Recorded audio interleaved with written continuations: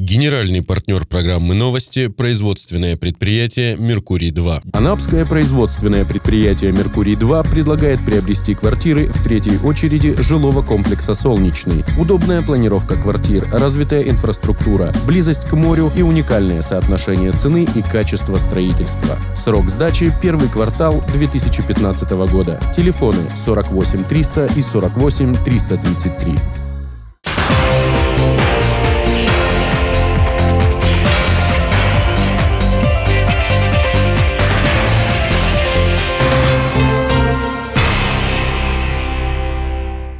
Эфир канала РЕН-ТВ продолжает новости Анапа региона в студии Ирина Меркурьева. Здравствуйте. Смотрите сегодня в выпуске.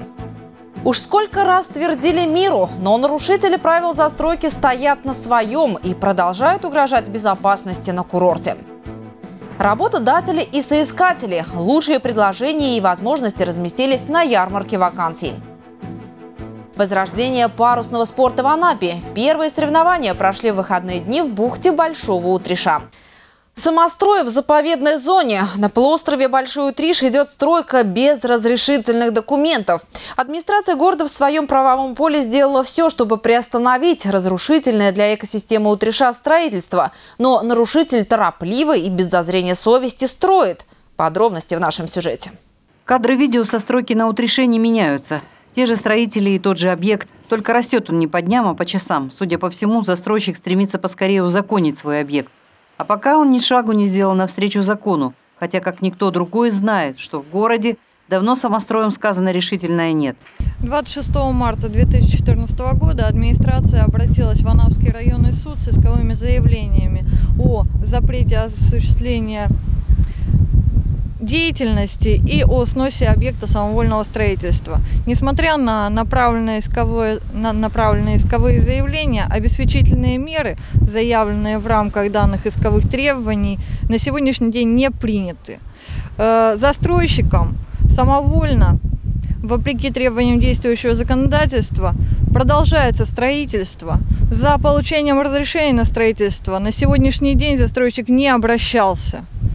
Необходимую документацию для осуществления, для получения разрешения на строительство, соответственно, им представлено не было. Общественность и казачество ежедневно выходят в пикеты, но стройка идет своим чередом. Хотя на время строители покидают объект, для вида, конечно, а сроки судов по искам администрации так и не назначены пока. Одновременно с направлением исковых заявлений администрации направлены соответствующие письма в Анапскую межрайонную прокуратуру, в Азово-Черноморскую межрайонную природоохранную прокуратуру для принятия мер реагирования по выявленным фактам.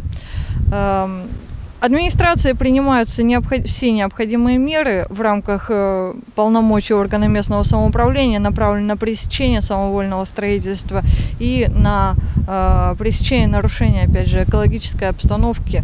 Администрация города, общественность и экологи уверены, эта стройка закончится так же, как и все самострои Анапы. Если это занимается господин Стародубцев, как у нас есть информация, прикрывает, то значит нужно ставить вопрос о судебном беспределе, который сам узаканивает э, те незаконные стройки, стройки, которые сами производят. Поэтому вопрос нужно ставить о легитимности тех судейских структур, которые сейчас осуществляют свою деятельность на территории нашего города, муниципального образования. Не будем как бы переходить на личности, а просто мы должны понимать, что кто бы там ни был, пусть это будет там Вася, Петя, там Петров, Иванов, неважно, но важно, чтобы вот э, люди понимали, что они творят. Значит, здесь обязательно будут бытовые отходы, э, именно вот э, сточные воды. Куда это будет все идти? Ситуацию мы попросили прокомментировать начальника правового управления администрации города Сергея Ускова. Хочу отметить, что никаких разрешений на строительство объекта недвижимости на земельном участке, не отведенном для этих целей, администрация не, не, не выдавала и не намерена этого делать в дальнейшем. И 26 марта было подано два исковых заявления в отношении застройщика, цель которых э, приостановить деятельность, которая влечет за собой нарушение требований градостроительного и земельного законодательства, и второе – демонтировать самовольно возведенный объект недвижимости. А завтра мы узнаем, какой судья будет заниматься заниматься делом по этой стройке. В очередную санитарную пятницу в Анапе провели большую работу по наведению порядка и благоустройству города. Дороги – визитная карточка города. Это людей встречают по одежке. Город оценивают по качеству и состоянию дорог. В Анапе идут ремонтные работы. Специалисты дорожно-ремонтной службы выполняют ямочный ремонт. Все даже незначительные ухабы и ямы сначала вычищают и расширяют, а уже потом – асфальт. По словам дорожников, такие обширные заплатки долговечны и для подвесок автомобилей менее заметны. Мэр Анапы Сергей Сергеев отметил в Твиттере, наша задача к высокому сезону привести в порядок дороги не только в городе, но и в сельских округах. Мы должны содержать все населенные пункты пункты в таком состоянии, чтобы гости круглый год чувствовали, что они на курорте. Параллельно работники чистят прибордюрные участки и красят бордюрный камень. Черно-белая окраска предназначена прежде всего для напоминания водителям и пешеходам о безопасности на дорогах. Местные автомобилисты шутят, что это дорога жизни с черными и белыми полосами. Радует, что белые вдвое шире. Ежедневно в городе и сельских округах дежурят рейдовые группы, проверяют места массового скопления молодежи и выявляют нарушения в рамках Краевого закона 1539. В составе рейдовых групп представители администрации, казачества, добровольных народных дружин, сотрудники МВД и отдела по делам несовершеннолетних. Четыре рейдовые группы контролируют исполнение закона в городе и 10 в сельских округах. В каждом по одной. По факту нарушений на родителей несовершеннолетних детей составляют протоколы об административном правонарушении. Детей передают родителям под расписку. После административного материала у нас формируются списки выявленных подростков, которые значит, передаются в образовательные учреждения и в комиссию по делам несовершеннолетних, где э, сотрудники образовательных учреждений проводят на местах уже с ними профилактическую работу. Задача рейдовых групп – не допустить правонарушений с участием детей и уберечь подростков от возможной беды. В пятничном рейде контрольная группа не выявила ни одного нарушения.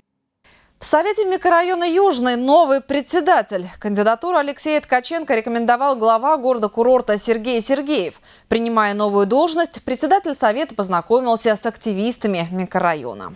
Алексей Ткаченко месяц назад был у мэра Анапы Сергея Сергеева. Как кандидат на место председателя Совета микрорайона Южный получил четкие установки и приступил к делу по благоустройству округа. Работу начал со знакомства с жителями. Задача такова, что а, все а, проблемы микрорайона, то есть благоустройство, дороги, э, какие-либо нужды, освещения, да, то есть чтобы вовремя глава был да, в курсе всех событий, ну и, соответственно, э, я ему доносил эти проблемы, и мы каким-либо образом решали, то есть либо э, через выделение каких-то там бюджетных средств, там, помощи главы, либо привлечение предпринимателей, которые работают там на данной территории микрорайона. В прошлом выпускник Академии народного хозяйства при правительстве Российской Федерации. Сегодня руководитель строительной компании «Виктория» Алексей Ткаченко знает работу в теории и на практике. Оформление документов, консалтинг, оценка и строительство, методы управления, навыки, необходимые для работы в микрорайоне. Ну что ж, очень приятно, что у нас такой молодой будет помощник, ну, да. Вопросы местного значения благоустройства микрорайона, социальная поддержка жителей и организация праздников – лишь часть работы в микрорайоне и городе. Сергей Павлович сказал, да, делаем центральную часть, потому что это наше лицо, это наш курорт. Но мы будем от центральной части уходить в микрорайоны. Задачи администрации города по благоустройству в микрорайоне будут выполнять ТОСовцы в округе Южный под началом молодого, но с большим опытом работы председателя Совета микрорайона Алексея Ткаченко. Актуальные предложения, высокие зарплаты и перспективная работа. Специалисты Центра занятости провели очередную ярмарку вакансий. Ярмарка вакансий несколько раз в год выходит за рамки города-курорта. Работодатели и соискатели вакансий из соседних городов и районов предлагают свои услуги и возможности. На данную ярмарку приглашено 53 предприятия, но пришло больше предприятий, которые представляют более тысячи вакансий. Это в основном вакансии санаторно-курортного комплекса, э, это э, повара, кухрабочие, горничные, официанты, плотники, сварщики, рабочие зеленого хозяйства. Также у нас представлена городская больница, Зеленстрой и другие предприятия, которые представляют вакансии по своим отраслям, в том числе и сельское хозяйство. Эту ярмарку ждут сотни анапчан, чтобы найти работу временную или на круглый год. Подработать стремятся студенты и пенсионеры. Хочу посмотреть, во-первых, а может быть и найду что-нибудь для себя. У нас у пенсионеров выбор не богатый, как говорится. Я специфическая служба. Ну, у меня есть и техническое образование. Может быть, что-то. Механиком могу работать. Может быть, в охране где-то что-то может быть. Вообще мастер-строитель. Ну, еще, допустим, профессию мастера. Но здесь пока не нашла. Ходить, как мы раньше ходили по санаториям, это очень было тяжело. А сейчас вот, представьте, пришли сюда и уже познакомились, и зарплату уже узнали. Мне очень нравится. 1738 вакансий заинтересовали на этой ярмарке посетителей. 606 человек рассмотрели предложения предприятий. 75% из них тут же намерены заключить трудовые договоры. Награды правительства Российской Федерации и Оргкомитета Сочинской Олимпиады нашли героев анапчан. В администрации города-курорта чествовали серебряных волонтеров. Дружная команда. Такие слова как нельзя лучше характеризуют отношения анапских волонтеров серебряного возраста. Эта общественная организация в составе более 40 человек помогала организаторам Олимпийских и Паралимпийских игр в Сочи. Я думаю, что э, все те мероприятия спортивные, и не только спортивные, культурные, которые будут проходить у нас э, в Краснодарском крае, в Федеральном Южном округе, мы будем с удовольствием работать на них. Так что у нас уже есть опыт, и наша команда не распалась. В том же дружном составе мы предполагаем нашу продолжить работу. Благодарности за вклад в организацию проведения 22-х Олимпийских игр в Сочи получили все волонтеры. В администрации города-курорта они принимали заслуженную похвалу и поздравления. Я хотел бы вас от лица Сергея Павловича поблагодарить за вашу работу, за ваш энтузиазм, за то, что вы сделали для Анапы, для города, для страны в целом, для Краснодарского края. Поэтому большое вам спасибо.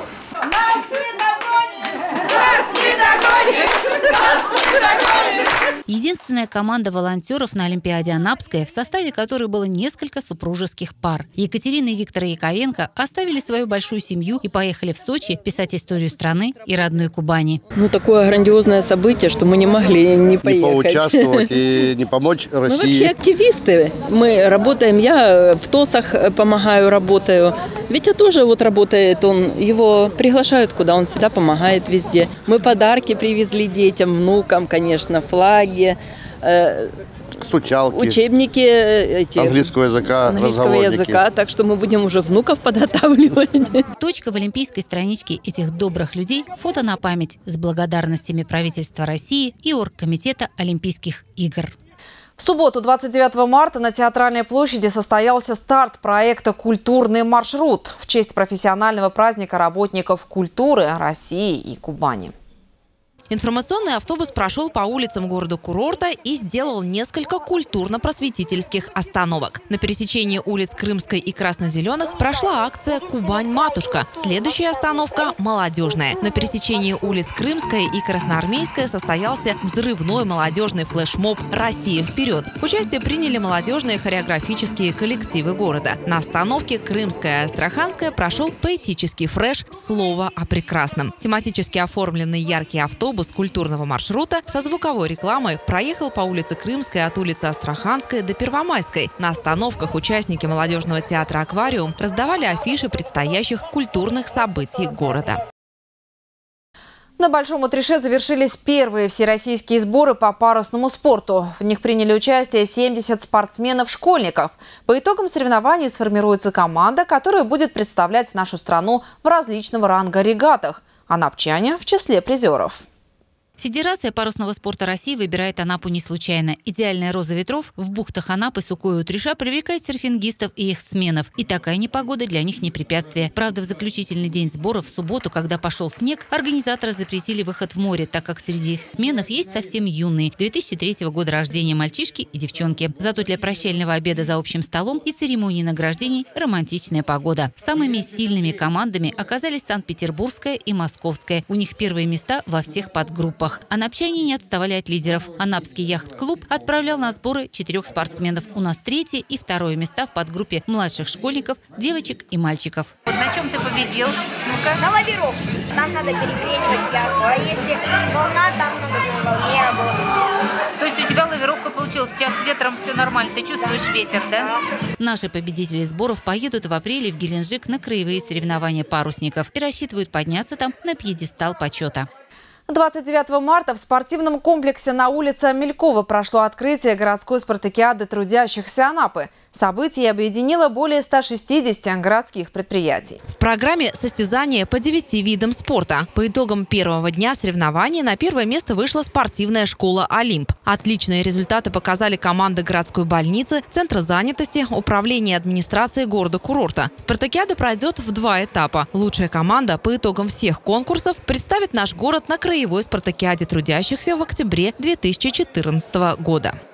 И в продолжение спортивной темы. В комплексе «Витязь» проходит 12-й ежегодный детский семинар по айкидо. Принять участие в традиционном учебно-тренировочном семинаре приехали более 100 ребят со всей России. Занятия с детьми проводит японский инструктор. Тренировочные сборы проходят благодаря официальному организатору семинара клубу «Осинкан». Для молодых спортсменов приезд сенсея – большая удача. Не часто удается получить уроки техники древнейшего японского стиля боевых искусств от обладателя шестого дана. Данный сбор будет, э, будет идти 7 дней. За эти 7 дней детям, дети получат максимум положительных эмоций, научатся у японца и правильному поведению э, в зале, и правильным техникам, и познакомиться, самое главное, друг с другом. Как и в большинстве других видов боевых искусств, в айкидо существует традиционная система разрядов, ученические степени Q и мастерские даны. Примерно оценить, какой уровень у айкидоки, можно по цвету его пояса. У начинающих учеников пояс всегда белый. Далее идут желтый, оранжевый, зеленый, синий, коричневый, уровень Q. Обладатели данов носят пояса черного цвета. Десятилетний Михаил Книгин приехал на семинар из Москвы. Занимается айкидо уже пятый год. Имеет оранжевый пояс. Каждым разом, когда мы сдаем экзамен, мы получаем какой-нибудь пояс. То есть, когда мы сдаем э, на первый экзамен, то мы получаем желтый пояс, и он длится два года. То есть э, следующий экзамен мы не меняем пояс. После желтого э, получи, э, ну, идет оранжевый, и он, он у меня уже второй, я буду сдавать на зеленый. Ивану Подоприхину из Ульяновска 11 лет. Айкидо занимается два года. Участие в тренировках семинара помогло улучшить технику приемов. Занятия мне дают много чего, а прежде всего здоровье. Я помню, я как-то заболел, а потом, ну, многим кажется, это неправильно идти в болезнь на тренировку. А я вот сходил и мне самому стало легче. Каждый прием японский мастер показывал несколько раз. Затем в спарринговой работе корректировал и подробнее объяснял суть применяемой техники. Айкидо акцентируется на слиянии с атакой противника и перенаправлении энергии атакующего. В дополнение к физическим техникам и тренировкам, айкидо придает особое значение тренировкам сознания, управляемого расслабления и развития духа и силы. Вот такие сборы проводятся. Это больше не обучение детей, а обучение инструкторов, методикам преподавания детям разного возраста особенно когда группа бывает э, достаточно разнообразной и по возрасту, и по уровню подготовки. Плюс, ну понятно, что здесь собраны э, группы из разных городов, поэтому они друг от друга отличаются. Это уметь э, проводить занятия для вот таких вот групп, в общем, это, это задача любого тренера. Этот сбор посвятили подготовке к юношеским играм, которые пройдут в Анапе в сентябре. Спортивные надежды Кубани собрались в Анапе. Краевые зональные соревнования по гандболу прошли в рамках краевой спартакиады школьников. В состязаниях приняли участие учащиеся пятых-шестых классов из четырех муниципальных образований края. В соревнованиях участвовали команды из Славянского, Темрюкского районов, городов Анапа и Краснодар. Девочки играли в детско-юношеской спортивной школе номер 10, юноши в общеобразовательной школе номер 1. Участницы из АНАП – ученицы школы номер 6. Параллельно занимаются баскетболом и гандболом. За пять лет не раз принимали участие в различных соревнованиях. Э, с первого класса на, ну, учитель по физкультуре предложил, но мы как-то согласились. У нас были соревнования по баскетболу э, за край. Мы заняли третье место, медали, там грамоты. Я очень рада, что вот у нас в Анапе приходят эти соревнования. Мы надеемся, команда, что мы победим вот в, в этих играх. И мы очень их так долго ждали. Ну, первым мы выиграли и хотим сейчас еще выйти на первое место. Конкуренция серьезная. За победу до последнего боролись все участники. По итогам соревнований сильнейшие назвали команду из столицы Кубани. На втором месте команда из Анапы. Третьими оказались школьницы из Темрюкского района. И это все новости на сегодня. В завершении выпуска прогноз погоды. Во вторник, 1 апреля, в Анапе будет солнечно. Температура воздуха днем 8-10, ночью до плюс 7 градусов по Цельсию. Ветер южный 7-9 метров в секунду. Атмосферное давление чуть ниже нормы – 753 миллиметра ртутного столба. Температура морской воды у берегов Анапы – 8 градусов тепла. Далее блок полезной информации от партнера программы – производственного предприятия «Меркурий-2». Эти и другие новости вы можете найти на нашем сайте. А я с вами прощаюсь. До встречи. Анапское производственное предприятие «Меркурий-2» предлагает приобрести квартиры в третьей очереди жилого комплекса «Солнечный». Удобная планировка квартир, развитая инфраструктура, близость к морю и уникальное соотношение цены и качества строительства. Срок сдачи – первый квартал 2015 года. Телефоны 48 300 и 48 333.